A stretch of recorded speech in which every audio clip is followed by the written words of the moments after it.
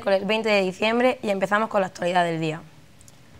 Hoy tenemos que hablar del Día contra la Violencia de Género, pero también tenemos otros temas más amables, como la temporada de setas o la tan esperada lotería. Desde la ciudad de Cuenca se preparan para un día especial como es el esperado 22 de diciembre y el sorteo de Lotería de Navidad, que para muchos marca el inicio de Navidad y viene cargado de suerte.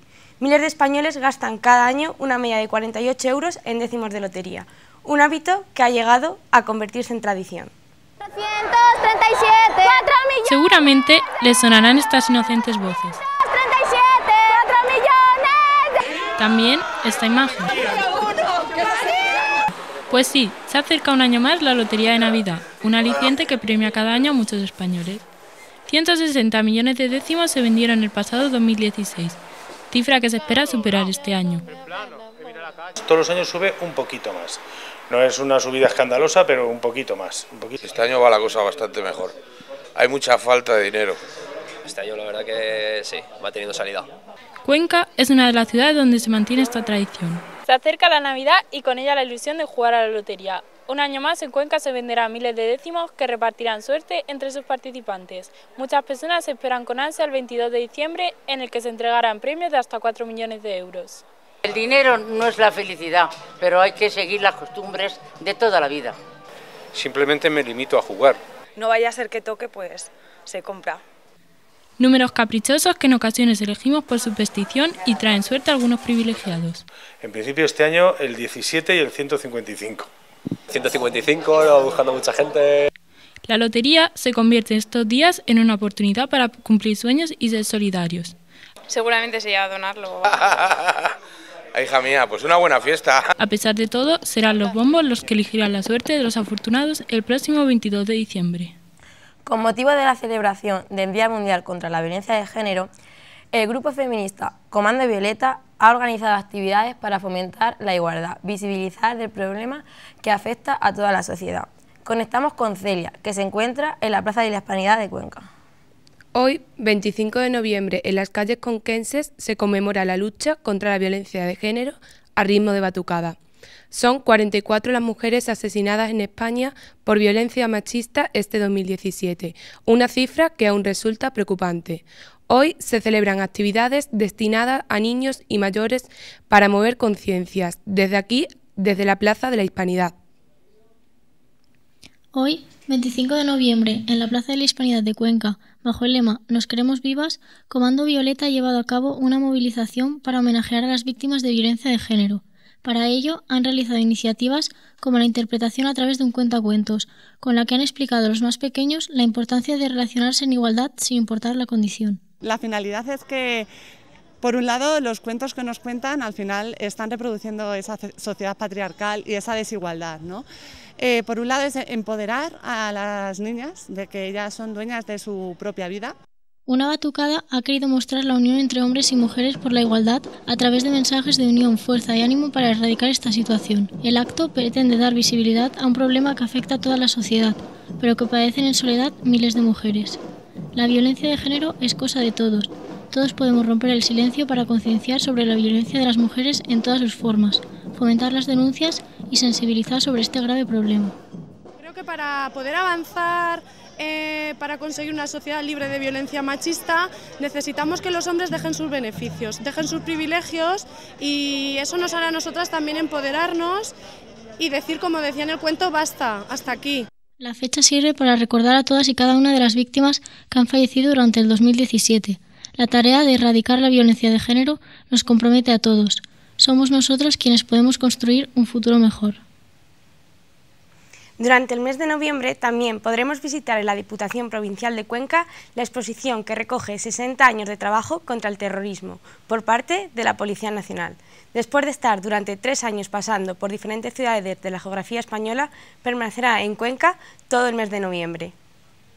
Una imagen vale más que mil palabras. Durante el mes de noviembre y bajo el título La victoria de la libertad, la Policía Nacional contra el terrorismo, la Diputación de Cuenca acoge una exposición donde se recogen seis décadas de trabajo del cuerpo en su lucha contra el terrorismo. Después de tres años itinerando por todo el país, permanecerá en Cuenca durante todo el mes de noviembre. La exposición tiene como objetivo rendir homenaje a los policías nacionales que han fallecido en actos terroristas, que hubo una época que no se les reconocía la entrega que habían tenido y desde la Dirección General de la Policía se decidió que había que homenajearlos porque son héroes de la Policía Nacional y héroes de la sociedad. Estas piezas que hoy son de coleccionistas han tenido una función muy clave durante 60 años, el trabajo diario de la policía contra el terrorismo. El ministro de Justicia también mostró su gratitud con la acción desempeñada por las fuerzas y cuerpos de seguridad del Estado. Eh, durante años en España la democracia ha tenido que luchar contra enemigos muy fuertes, muy poderosos. Todavía hoy existe terrorismo internacional que nos obliga a seguir estando muy vigilantes y yo creo que es una llamada de atención de lo que nos pasó, que puede haber personas jóvenes que ya no, no han vivido estas etapas, los años 70, los 80, que fueron tan duros, con tantas víctimas.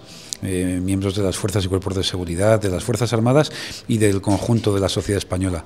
Esta exposición une a varias generaciones con un objetivo común, conocer el pasado más reciente de nuestro país. El Centro Joven de Cuenca empieza en noviembre sus actividades otoñales para jóvenes y adultos. Existe una gran variedad de cursos, tanto interactivos como de relajación para personas con un día a día más ajetreado. Nos encontramos en el Centro Joven de Cuenca, con motivo de las actividades otoñales que se han estado realizando durante todo el mes de noviembre. La jornada de esta tarde comenzará con el taller de Mindfulness, una actividad dirigida a todas las edades que nos ayudará a controlar el estrés y la ansiedad en los momentos más complicados. Las plantas medicinales, la relajación contra el estrés y la ansiedad o la cultura del cine son algunos de los talleres que se pueden encontrar en el Centro Joven de Cuenca durante todo el mes de noviembre. Y es que no solo cuentan con actividades para los más jóvenes, sino también para adultos. En el taller de Mindfulness, a cargo de la compañía Pule Diamante, encontramos un amplio abanico de personas de todas las edades que han acudido durante tres sesiones para poder liberarse del estrés y la tensión que día a día se apodera de nosotros. Hablamos con Enrique Cuesta, profesor de relajación. En este mundo en el que la gente anda tan estresada y tan agobiada y con tantos cambios y todo tan frenético, pues que viene bien conocer algunas técnicas que nos centren un poco en el momento presente. Otra de las actividades que desarrolla el centro es el taller de plantas medicinales, donde se explican la gran variedad de plantas curativas y los beneficios que se pueden obtener de ellas. Los cortometrajes también tienen su importancia para los jóvenes de Cuenca, que aprovechan asistir a la escuela de cine que realiza su primera edición para los más pequeños. Así lo cuenta el monitor del taller Javier González. Lo que pretendemos es que alcancen la suficiente cantidad de conocimientos como para realizar un cortometraje y se realizará a final de curso una proyección del mismo en una de las salas municipales. Después de todos estos talleres, solo queda volver a casa. Llega un año más la temporada de recolección de setas a Castilla-La Mancha, una etapa clave para los recolectores, que este año estará marcada por la falta de escasez debido a la falta de precipitación una amenaza a esta práctica regional tan dependiente de la meteorología. Comienza la temporada de setas y como cada año la micología reúne a una multitud de recolectores. Los montes conquenses empiezan a llenarse de robellones, trompetillas y boletus. Sin embargo, los últimos datos recogidos empiezan a ser preocupantes debido a la escasez de, de precipitaciones en la región. Con la llegada del otoño y las primeras lluvias al campo de Castilla-La Mancha se colpan una multitud de setas y hongos que florecen en la provincia. El objetivo de la campaña es de índole proteccionista. Procura informar sobre las diferentes especies de hongos y setas que crecen en estos montes conquenses.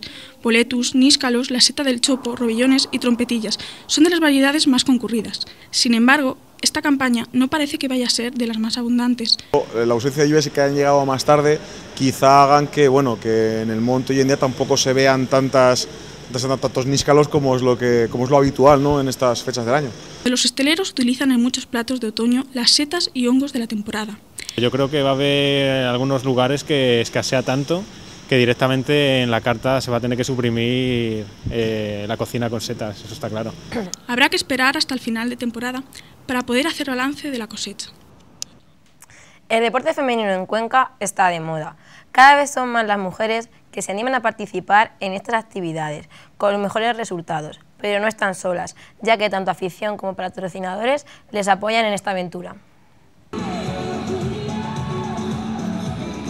El deporte femenino en Cuenca está en auge. La presencia de mujeres en el deporte conquense se ha incrementado en los últimos años. Deportes como fútbol, baloncesto y balonmano ya cuentan con equipos femeninos en sus clubes. Un gran ejemplo sería la Unión Badompédica Conquense, que está disputando la división regional preferente, o el Club Baloncesto Cuenca, que jugó su primer partido en casa el pasado sábado de la segunda división de Castilla-La Mancha. Todos los equipos femeninos persiguen directamente un objetivo común, poder algún día trabajar haciendo lo que les apasiona, que es el deporte. Yo creo que sí que se va a poder vivir del deporte femenino, porque no, ya hay gente que está casi profesionalizado, poco a poco las ligas a nivel nacional, tanto la liga femenina de baloncesto, este año ya está un poquito más profesionalizada, la liga balonmano también, entonces poquito a poco creo que sí que se va a llegar a eso. Dentro de unos cuantos años, pues puede que sí, de momento bien no. Puedes a lo mejor pasar el mes, como puede ser el Barça o el Atlético de Madrid, pero los demás equipos no. Ellas se niegan a aceptar estereotipos como que el deporte es algo físico. Por ello, cada día entrenan tan duro más que sus equivalentes masculinos. Continúan diariamente desmontando todos los tópicos a base de esfuerzo y un juego muy táctico. No solo es un deporte para hombres, que también pueden jugar chicas y en muchos casos mejor que un hombre. Creo que que se puede ver cosas bonitas en todos los lados. Sí que es cierto que no vamos a engañarnos, el deporte masculino o el baloncesto en este caso, que es lo que yo controlo, es mucho más físico el masculino que el femenino, pero por ejemplo el femenino es mucho más, mucho más táctico que el masculino y es mucho más rico en esas cosas. El número de deportistas aumenta año a año, también el número de personas que asisten a sus partidos. Además, se ha incrementado el número de empresas e instituciones que patrocinan sus clubes. El objetivo marcado se va cumpliendo progresivamente. Esto ha sido todo por hoy. Les esperamos en las noticias de las 9 con más actualidad. Que pasen buena tarde.